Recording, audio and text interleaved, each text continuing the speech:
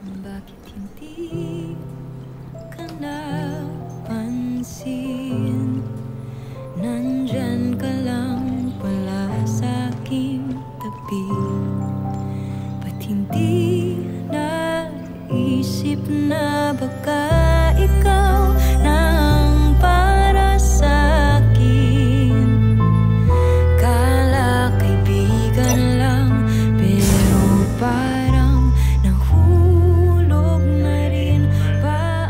Hindi mahalaga ang ibang tao. Wala ka dapat isiping iba kundi ang kapakanan mo.